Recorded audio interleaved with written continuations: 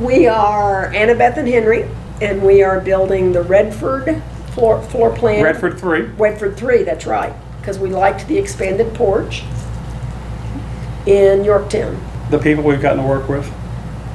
Right, from the sales associate, sales manager, to the design studio people, they've held our hand, I think, put up with frustrations, or when, when I've gotten frustrated.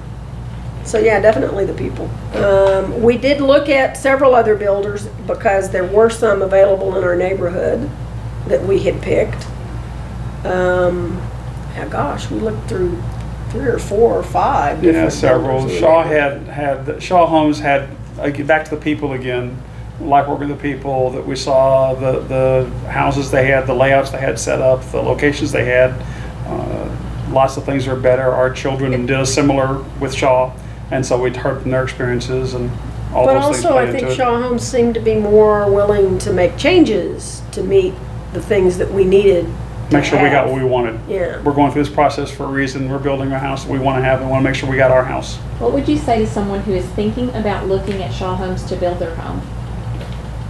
do it. Make sure you go see Shaw Homes. They'll be there to help you out. When Do they you- tell you to go do something, do your homework. Yeah, do your homework. Pay attention. Go see the models. Make lots of notes. Understand that it's going to take some time, but you're doing something you're going to have for quite a while in theory. So you want to make sure you get it right. So the questions they ask and the things they make you do, there's a reason for them. And the other thing that I noticed, because I visited a lot of the models, none of the models that I was interested in, but I wanted to go look at specific things. Everybody at the model didn't care that I wasn't there for that model. They understood that I was there to look at specific things, and they were very, very helpful, which didn't surprise me exactly, but it, it again, the people made me very comfortable in asking lots of questions. You'll be able to see things that maybe you do want, but you'll see things you don't want. It helps you to Yeah. know, I don't want that. Yeah. I do want this, but I don't want that. And that's a good two- thing to know. There were two pictures I took that I actually took the time to write no on them, because I did not want that. Yeah.